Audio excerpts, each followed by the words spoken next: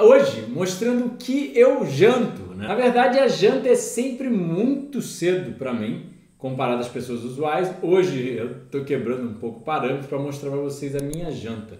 Muita gente me pergunta, mas é, você come vegetais, você vive de fruta, você tempera, você usa sal, você usa alho, cebola, perguntam mil coisas, você usa molho. É, bom, eu consigo comer qualquer tipo de vegetal assim.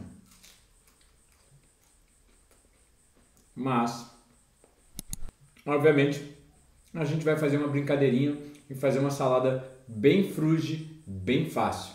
Então, fica aí e vamos aprender o que um frugívoro crudívoro come.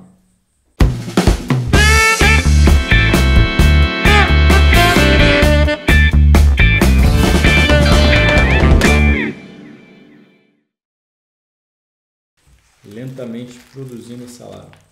Começar com alface, eu adoro alface americana, é uma das minhas prediletas, assim como a romana, né? Mas toda alface é alface, toda é gostosa. Aqui, como é interior do Rio de Janeiro, não tem romana fácil se encontrar, então a gente vai de americana hoje. Um bolo de salada. E agora, couve chinesa ou a selga né? Dobrar toda ela.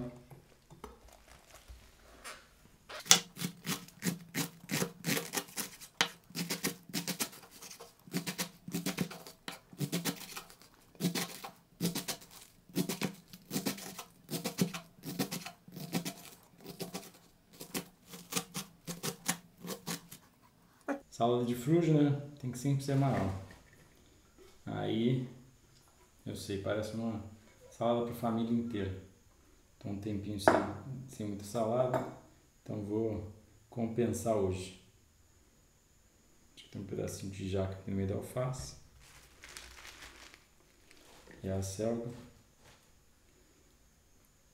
E aí, a gente vem com os temperos, alho poró, cebolinha, coentro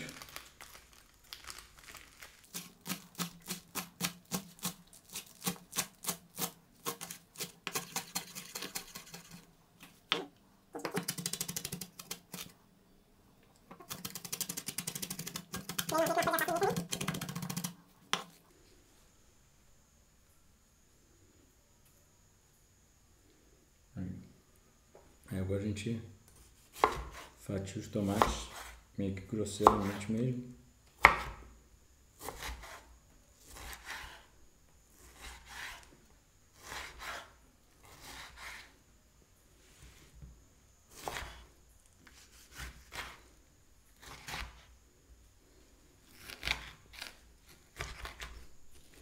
Sempre tomates bem maduros.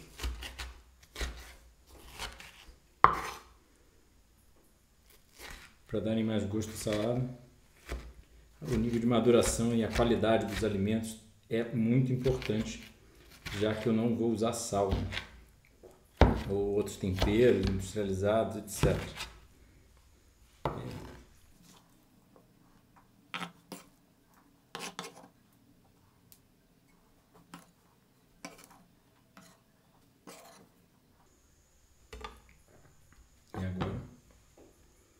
pegar o limão. Espremer.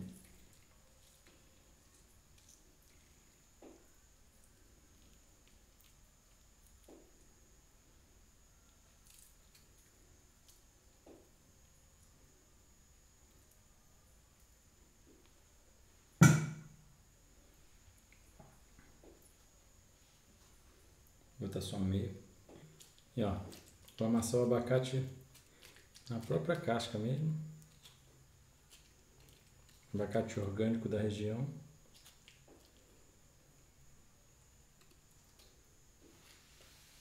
Paguei 3 reais o quilo.